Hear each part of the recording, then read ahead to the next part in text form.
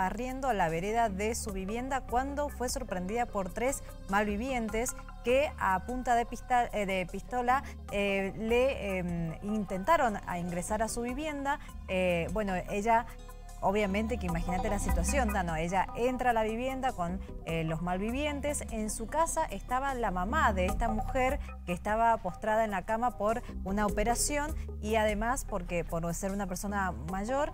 Y bueno, a partir de allí, eh, la mujer con una valentía, te diré, tomó una pava de su cocina y se defendió con, con la pava de la cocina.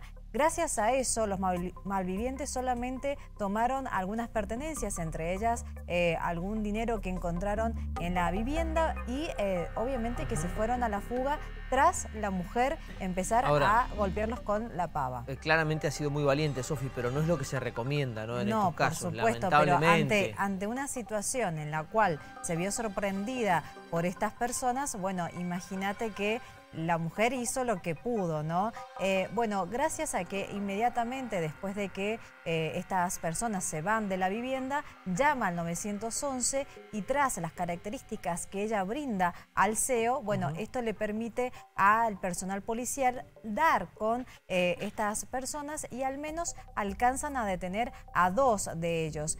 cuando los detienen, pueden, en los allanamientos que se realizaron, posteriormente, bueno, encontrar un arma calibre, eh, un arma de 9 milímetros y estaba también con eh, cargada, es decir, que tenía intenciones, exactamente, tenían intenciones de atacar de forma violenta. Por suerte no eh, sufrió ningún daño la mujer ni tampoco su mamá que estaba en la cama, como les decíamos, tras un proceso